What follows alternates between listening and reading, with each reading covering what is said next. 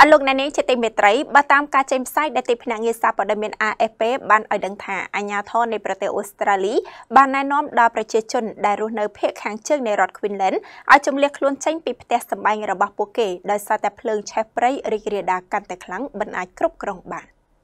អ្នកស្រុកនៅក្នុងតំបន់ចំនួន3ភាគខាងជើងនៃរដ្ឋ Queensland ប្រទេសអូស្ត្រាលីត្រូវបានណែនាំឲ្យជំនះចេញពីផ្ទះសម្បែងរបស់ពួកគេនាថ្ងៃពុធនេះខណៈភ្លើងឆេះព្រៃរីករាលដាលមិនអាចគ្រប់គ្រងបាននេះបើយោងទៅតាមការចេញផ្សាយដោយទីភ្នាក់ងារសារព័ត៌មាន AFP នៅថ្ងៃពុធទី1ខែវិច្ឆិកាឆ្នាំ2023 ក្រុមពលរដ្ឋអាគីភ័យមកពីទូទាំងអូស្ត្រាលី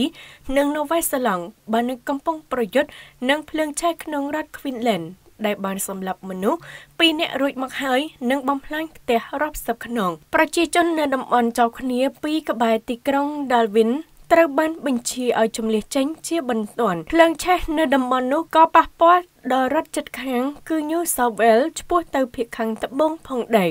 គូបញ្ជាក់ថានៅថ្ងៃពុធអាជ្ញាធរអូស្ត្រាលី បានចេញការព្រមានលើកទី3សម្រាប់តំបន់ប៉ែកខាងជើងបំផុតនៃរដ្ឋ Queensland ផងដែរនៅក្បែរទីជនបទ Watsonville បូរីមេកុងឡែនបង់ប្រចាំខែចាប់ពី400ដុល្លារឡើងទៅបូរីមេកុងឡែនផ្ដើមជីវិតរីករាយនិងជោគជ័យនៅទីនេះ។